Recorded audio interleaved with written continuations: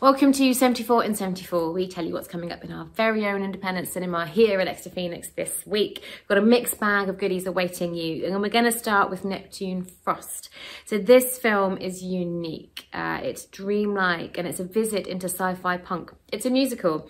It's visually wondrous. It's an amalgamation of themes, ideas and songs um, and they're all brought together by multidisciplinary artists Saul Williams and Anisia Uzeyman.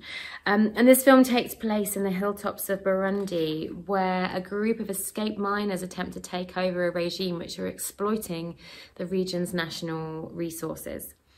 It's terribly invigorating, it's really progressive, um, and it's got quite strong political undertones.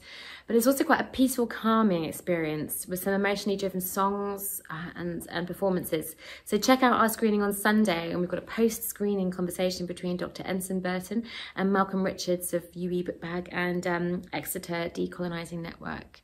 Um, you can also listen to the playlist of the songs, which we've linked to our website. So uh, that'll get you in the mood. Living opens on Friday. This stars Bill Nighy as a veteran civil servant who's dedicated his life to service and forgotten how to have fun.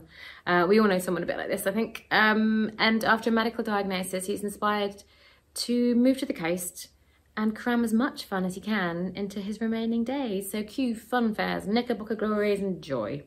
Uh, it's taken from the original story by Kazuo Ishiguro, who uh, wrote Remains of the Day. Um, and Living brings a fresh perspective to this 1950s tale of one man making up for lost time. Our third instalment of our In Dreams Are Monsters season, supported by the BFI, takes place with the 50th anniversary screening of Blacula Uh, and this is in partnership with Abertoir Film Festival. Um, so Blacula was the first blaxploitation horror film and the first studio-backed horror film by a black director.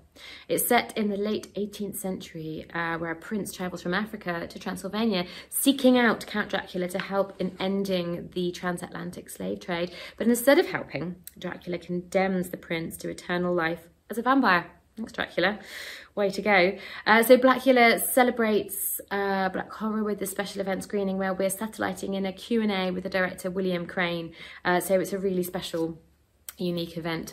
And screening times and more are available online.